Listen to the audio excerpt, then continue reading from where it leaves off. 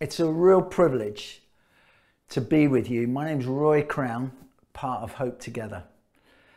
And this prayer shield, as we look across the nation, let's recognize that if you had a map that was a jigsaw, then your piece in the jigsaw gets placed in the jigsaw, which is the body of Christ, and people no longer see the individual pieces, but as we put our piece in the jigsaw and all those pieces come together, then what's seen is Christ.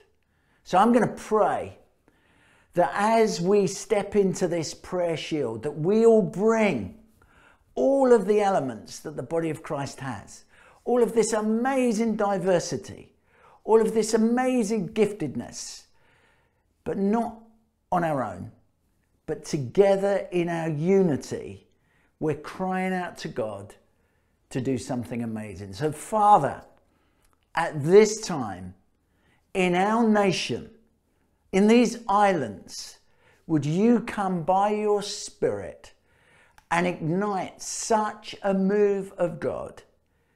The like we've never seen before. We look back at our history and we thank God, but we look ahead to see all's going to happen this year.